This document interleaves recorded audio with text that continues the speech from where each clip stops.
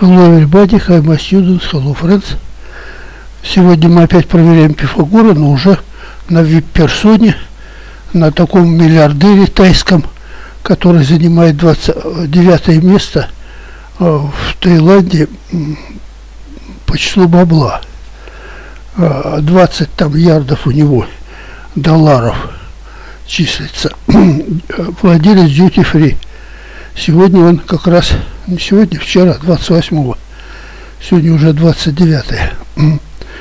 Э, с вертолета, как вот у нас Федоров там и другие офтальмологи, все на вертолетах летали и в президенты хотели, да?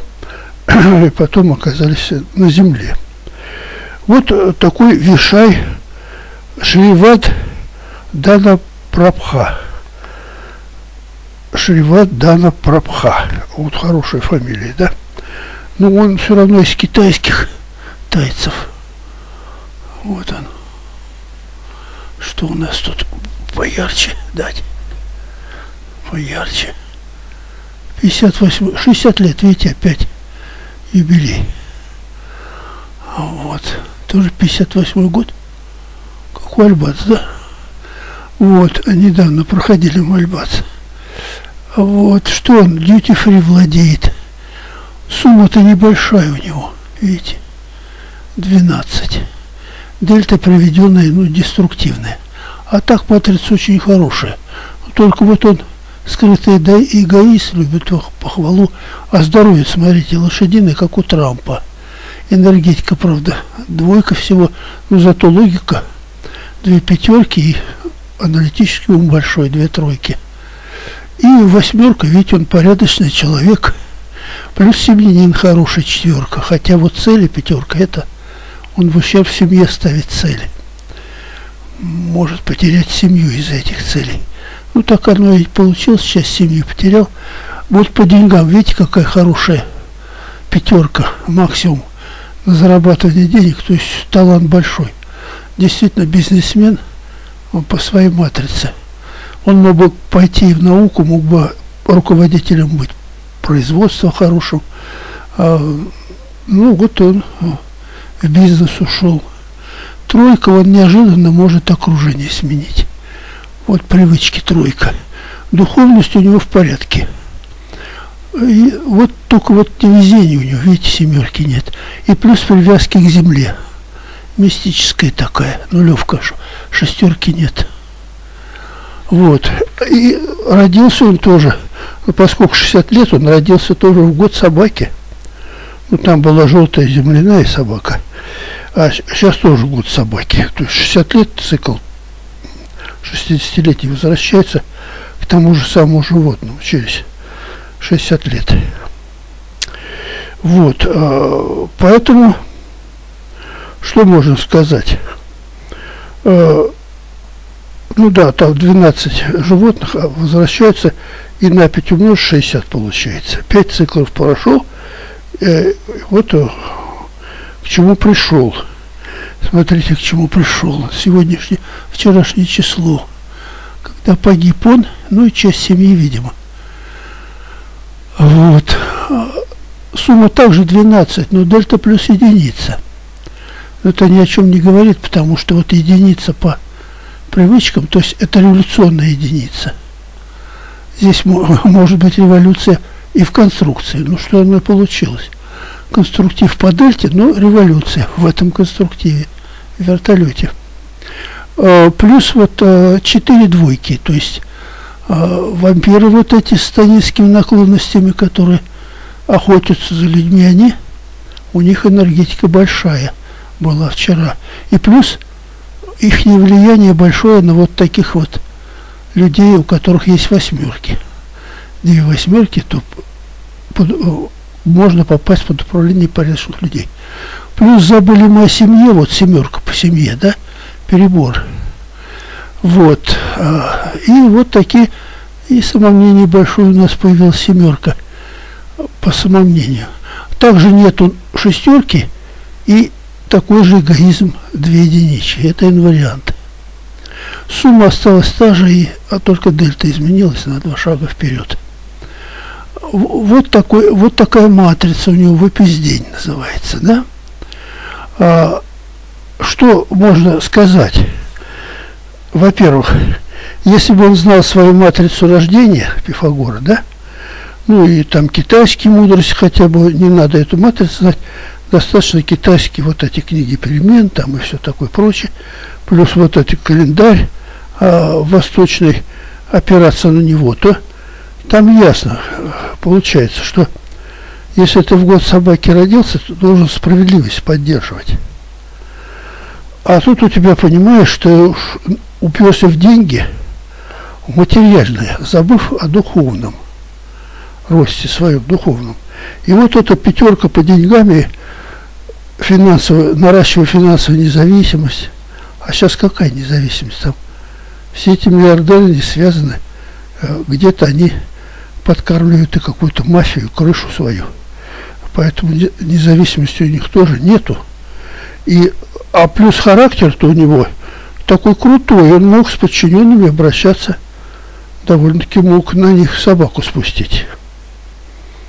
А, данные у него все хорошие, то есть по вот как э, по его и по китайскому календарю, и по друидским календарям, по всем – и по матрице видно, у него исходные данные.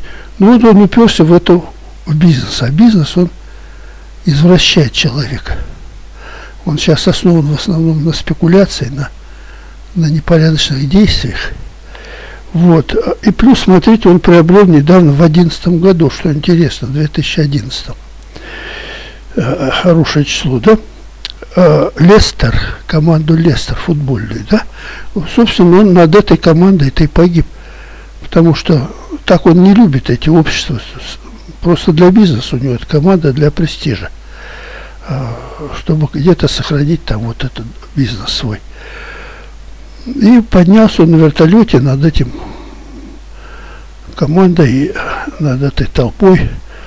И загремел оттуда, конечно, Лестер а как переводится лес? Без, тер это земля безземельная, да, там, там и король-то в Англии-то был тоже безземельный, Лестер какой-то.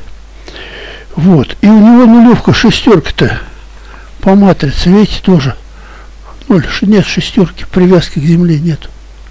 И везухи нету поэтому. А почему нету везухи? Потому что не, не набрал он э, талант задача его была на земле какая? Она не была вот бизнесом заниматься. А если у вас нулевка по шестерке, то есть вместе шестерки ноль, то вы прошли профессию. Самое главное – получить профессию. Какая есть на земле профессия. Быть э, хорошим экстра-класса профессионалом в какой-то области. Но только не в бизнесе, конечно, потому что бизнес сейчас связан со спекуляцией. Он не на основе там священного писания действует, да? Ну, может, у мусульман там, ну, у них другие есть минусы, у них по, по в семейном плане там перекос. Вот, а, значит, шестерки нет, Лестер команда, вот уже мистика. И плюс рожден в апреле. Видите, тоже надо учитывать. 4 апреля 58 года.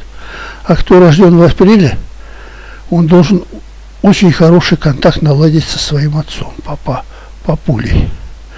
Если контакта там не было с папулей, налажено, то он несет карму этого папули на себе. То есть, э, если даже он не суждено было ему погибнуть, то он за отца погибнет, потому что он не сумел с ним контакт. И э, отец будет избавлен от этой своей кармы, а за, за эту карму, за, за него понесет ответственность сына. Вот такой вариант возможен. Но здесь, судя по выпизню, здесь сразу несколько факторов. Во-первых, вот революционный день, и плюс где революционный? В конструктиве, потому что дельта плюс один, это конструктивный день, конструктор. То есть э, революция в конструкции вот этого вертолета. На чем она могла быть обусловлена? Вот этими двумя восьмерками – непорядочными людьми, да, и у которых энергетика большая, 4 двойки в этот день, то есть они, э, вот. Использовали этот момент, когда он сел вот с семьей туда в этот вертолет, и как хорошо можно расправиться с, кон с конкурентом. То есть подозрения есть, и очень серьезные подозрения на вот эту вертолетную катастрофу, что кто-то там что-то там подкрутил, какую-то винтку не довинтил, как всегда, да? Эффект Рогозина какой-то э, там переклинило где-то там чего-то у них в хвосте. И вывод какой вот в год собаки он тоже от собаки до собаки. То есть э, сама справедливость его прибрала на тот свет и вместе с семьей. Почему? Потому что он цели ставил, пятерка у него была по целям. Вот по целям у него пятерка. То есть он мог ставить такие цели в ущерб семье. Хотя семьянин он прекрасный, у него четверка семья, он и четверть детей, кстати, у него. А вот по сексу ему нужно было все время с партнершей находиться. Но он от, не, неотвязно ее с собой, видимо, возил и в вертолет посадил. Сейчас пока выясним там, кто и чего погиб из этих детей четверых попозже. Вот э, такие дела. Значит, вот этот уже не, не первый миллиардер, там в вертолете один, сам тоже в таком же возрасте, 60-летним, полетел куда-то в горы в США, тоже там разбился, потом его через несколько лет только нашли обломки в горах где-то этого вертолета. И вот и, свежий такой факт. Значит, если мы знаем свою запись день, мы смотрим, у нас нет везения. Значит, мы должны как поступать? Осторожно выбирать цели. Раз. Во-вторых, мы каждый день должны матрицу рисовать. И посмотреть, какие опасности для нас. Вот если появляются две восьмерки, и у нас семерки нету, то ясно, что надо опасаться вот этих непорядочных людей. Плюс вот этот вот революционный день надо тут вообще действий, связанных с передвижением по пути, с техникой, с, с конструкциями избегать. И плюс еще вот эти вот четыре двойки. То есть это, это не его день-то, не, не его везуха-то, это везуха как раз его врагов, которые, возможно, и устроили вот эту вот катастрофу. Э, ну, владелец Челси тоже, мы знаем, он переехал в Израиль, это у нас Абрамович. Примерно такое же у него положение, как у этого миллиардера – Э, другой был миллиардер Березовский, то, тоже мы знаем его кончину. Поэтому сейчас вот эти вот деньги, они новые деньги, ну больше, они постепенно будут исчезать за счет исчезновения вот этих миллиардеров, да? Вот. Ну, другая новость, которая, это мы посмотрели действенность матрицы Пифагора и как она прекрасно работает человек вроде был хороший, все у него было, и здоровье, и семья, и дети, и умение зарабатывать деньги, и э, порядочность, и умение руководить коллективом, э, прекрасный аналитический ум, интуиция, богатая логика. Ну вот, все это было направлено не на приобретение полезной профессии, для чего он, собственно, послан был, а на вот этот бизнес, вот в не показал, какой он вариант. Вариант 16. Позиции по единице одинаковые, две единицы осталось. Видите? Что тут было две единицы, что здесь две единицы. И по шестерке нулевка как была, так и осталась. То есть по позиции 6 тоже вот. И инвариант получается 1 из 6. Это стремление к материальному в ущерб Э, то есть стремление к материальному, к благам, к удовольствиям, к финансовой независимости, что важно, да, при покушении, то независимо от кого-то, а с него, возможно, деньги-то сейчас требовались. Вот. Э, и тем более в Англии, смотрите-ка, сколько покушений в Англии за последние годы, и все сваливает на других и так далее. Вот. И вот с погоней за вот этими деньгами и удовольствиями личными он уже не отличал добра от зла. То есть, что он там делает, а, на чем он свою экономику строит. на какой-то не совсем каких-то чистых делах, на, спекуля... спекуляциях. Ну, сам этот спорт, который отупляет мозги, мы видели, что после футбола всегда происходят страшные события. Это огромные драки, это вот было недавно в Италии а, крушение эскалатора. И всегда-всегда при выходе со стадиона получаются кошмарные случаи. И здесь вот так же произошло. То есть футбол связан с трагедиями. Да как, впрочем, и всякий спорт, потому что он отупляет мозги. Всякая соревновательность отупляет мозги. Это старцы святые отметили, э, которые изучали тщательно Библию в ее первом, как говорится, честном варианте, без филиока, который мы замечаем сейчас. Вот. Ну, а последнее, то, что там нападение на синагогу, ну вот э, товарища, он, э, видите, сравним давайте с нападением в Керчи в школе. Там, если в Керчи, смотрите, как налупили много людей и свалили на одного человека. Ну, показано, правда, видеокамера сейчас показали запись видеокамер, как он ходит по коридору, убивает людей. Сразу он положил женщину, видно, потом парня положил э, и ходил там по этажам, и, и взрыв организован был. И показан был только один, напарник только показан был в начале, когда он зашел с сумкой и передал эту сумку, видимо, напарнику. Один рюкзачок напарнику передал. А потом он оказался в одной рубашке, в майке белой, футболке. То есть он передал ему, видимо, взрыв пакета, потому, чтобы тот организовал взрывы и э, другие работы проводил. А он ходил, э, видимо, в паре они работали, не только в паре, но там еще подключились группы, как говорят, военного спецназа, а охотники на детей, а, за детскими телами. Как а, Саид Бурхан говорит, Таня Саид Бурхан, это Карацуба, она говорит, что вот есть такие команды, которые за, за границей приезжают и прячутся потом в Израиле они, эти команды, где их не достать. А команда из волонтеров, которые э, поставляют э, биологический материал. Вот как Путин же не зря говорил, что э, там подняли его на смех. Ну, он же об этом предупреждал. Он говорит, со всей России забирается биологический материал и вывозится за границу. А биологический материал это в том числе и тела детей. А где они поедаются тела детей? В Англии, при королевском дворе. Они там все людоеды. Почему? Потому что им надо жизнь сохранить. Поэтому они делают эти ритуальные убийства.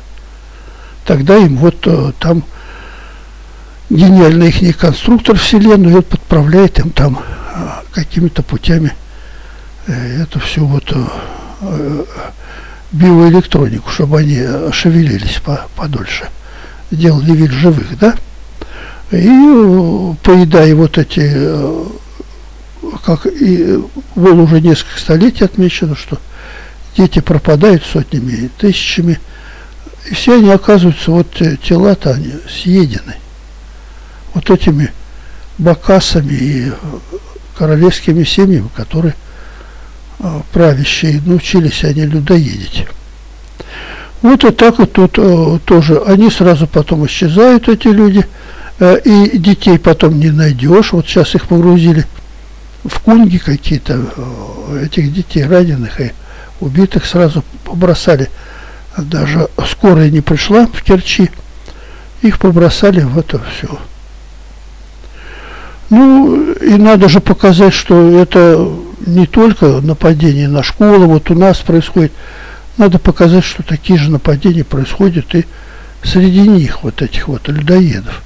И вот э, произошел, э, использовали случай вот этот э, синагога где-то в Питтсбурге, что ли, в американском городе, это тоже вот сегодня 28 или 27 в синагоге 11 человек он убивал. Но я посмотрел список, в этой синагоге он убивал всего 11 человек, а трое ранил. И из этих 11 человек а, ну там только двое, 54-56 лет, муж и жена, видимо. А остальные там за 80, около 90 лет, ну, старичков отправил тихонечко туда, на тот свет, чтобы они не мучились. Э, старичков вот этих покрошили, а фактически вот такая вот жертва тоже а, коня, жертва, как говорится, пешек, жертва пешек, да, которым и так уже пора на, на тот свет. А тут детей поубивали, которые вот э, годятся в это на биоматериалы, как отмечал наш гарант. А его никто не слушался, охрану не увеличили, ничего. И не слушали также вот нашего предсказателя, который в Германии сидит, этот Артем Драгунов. Он все время предупреждает, то, чтобы увеличили охрану. Охрану там э, детей, э, вузов, охрану мостов. Э, и сейчас вот надо увеличивать охрану складов боеприпасов, а, пусковых ракет стратегических, потому что украинская советница Министерства обороны Украины, она а, посоветовала, ребята, говорят, давайте взрывать российские склады боеприпасов. Чего, мол, у нас-то рвутся склады, а надо сейчас теперь в России тоже взрывать эти склады боеприпасов. Вот таким образом охрана. На охране экономит, ну так же, как и в Америке, там тоже этот э, они считали как раз синагога находится в центре еврейского квартала. Ну, в центре, значит, особенно там э, об охране нечего заботиться. И тоже фактически синагога была без охраны в субботу. Вот, ну, такие случаи, они, ну, и храмы сгорают, там, церкви 150-летние, и у нас такое случается, и за границей везде обостряется борьба в связи а, с расслоением а, уровня жизни народа. Везде же идет по всему миру расслоение. Вот э, за это время у нас, допустим, число миллиардеров увеличится на 20 человек. Миллиардеров долларов за этот год. Потому что э, обнищание народа произошло, а деньги скопились. По закону Ломоносова они скопились где-то. Вот у этих 20 человек они стали миллиардерами. Также по всему миру богатые, они становятся богаче, а бедные нищают и э, налоги на них все время увеличивают. Сейчас вот налог на самозанятых. Значит, если я приглашу э, комнату побелить, там потолок девчонок, там маляр, что они и заплачу им там из своей пенсии, то они должны будут из этого заработка заплатить 4% для начала. Вот 4% заплати дяде, потому что ты работаешь, обслуживаешь, вот этот пенсионеру побелел потолок. Это уже у тебя сверхдоход.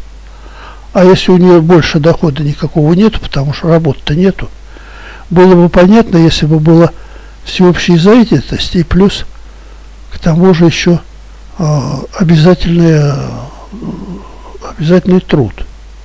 На, на пользу всего общества, как было при социализме.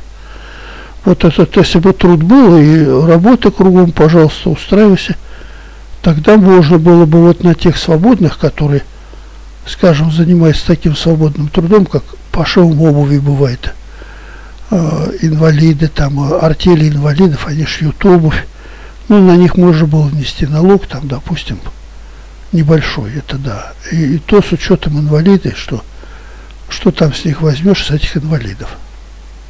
Вот самозанятые инвалиды. Или самозанятые педагоги. Вот они э, в школе учить не хотят детей, а хотят по домам учить, потому что это увеличивает их зарплату. Как Медведев сказал, что вы за педагоги, если вы не сможете, не, не сможете свои знания капитализировать, да? Вот. А теперь на капитализацию этих знаний вот тоже накладывается эта фискальная часть. Ну и да, в дальнейшем тоже все эти налоги будут увеличиваться, увеличиваться, все и так далее и тому подобное. И кварплата, и ЖКХ, это все. Вот это расслоение, оно ведет к антагонизму, и плюс и этим пользуются люди, которые устраивают провокации – в своих целях. То есть использует вот это озлобленное нищее население и направляет их действия в своих целях. Вот это же э, мужик их не вот э, какой забыл я этого американца, как Роберта, о синагоге расстрел-то производил. Вот, э, этот озлоблен был сетями э, против евреев, там э, против всех скопом, всех евреев надо уничтожить. Но это пропаганду кто? Они же, мы же знаем, в древности есть еще книга написана про сионизм, еще позапрошлом веке. Про сионизм написана книга, где написано, что антисемитизм это сами сионисты производят. Они специально его производят, антисемитизм, для того, чтобы сплотить свой, свое общество, а, кучковать его. Так же, как вот у нас специально военную вот эту дудку играют, и а, повсюду конфликты для того, чтобы в узде держать население, мол, у нас вот враги кругом, мы должны сплотиться. Так ведь? Также и сионизм, он антисемитизм сам рождает. Это его произведение. Так же, как Холокост, это тоже произведение самих сионистов, потому что кто, Гитлер был э, это внебрачный сын Ротшильда. Геббельс, там, Гиммлер, это, это все же были евреи. И они спасали евреев, а высоких, которые занимали большие иерархии. Эйнштейна выпустили там, всех других, и сам этот, э, кто там, авиация это командовал. Э, Бор, нет, не Бурман, а тоже нога какой-то. Вот, и он э, сажал на самолеты этих евреев и направлял туда вот, в нейтральные страны. То есть занимался спасением. То есть Холокост был он такой не совсем-то прямолинейный. А если его цыган загоню и выдам их за евреев, то и сам из себя сделаю антисемита.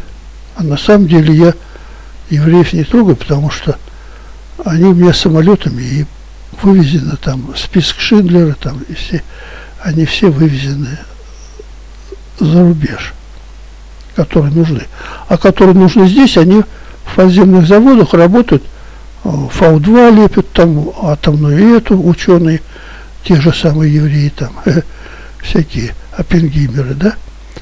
Вот, поэтому вот такой Холокост, он хитрый, он не совсем и вот используя вот это, они даже закон ввели, что вот кто отрицает Холокост, но кто его отрицает? Никто не отрицает. Убивали цыган, убивали, а русских солдат убивали, убивали там всяких молдаван, кто почернее, там это все.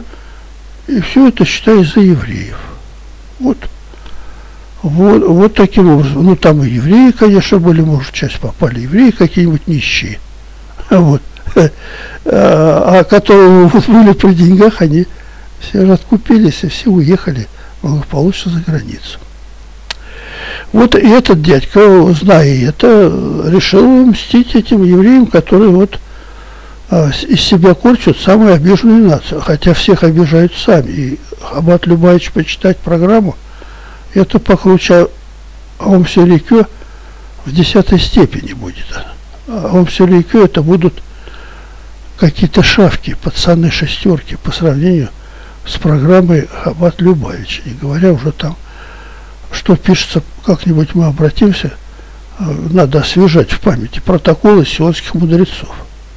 Ну, сейчас будут отрицать, этих протоколов нету, но они есть, эти протоколы, и, и съезд, съезд был, э, съезд. И, и этот э, был, который три мировые войны запланировал, вот, тоже а, это, масон-то известный их. И масонство там есть 99 ступеней, да? Вот 30 ступень это для быдла, типа вот президента всех, Меркель там и, и нашего гаранта, вот до 30, до 33 градуса. А выше уже, там до 66 это среднее звено, а с 66 до 99 там это уже высшее масонство. Ну, это уже на уровне где-то там, не Бога, и вот этого пирамиды где-то наверху. Вот таким образом, то есть нагревание вот этого анти, антисемитизма, оно нагревание в прессе идет. А как оно идет? Вот расставляем везде вот кадры, э, даже на нишах звеня, журналиста какой-то, режиссер, ну всех поставим кругом. И этих олигархов, вот как мы назначили? Мы назначили всех евреев олигархов, правильно?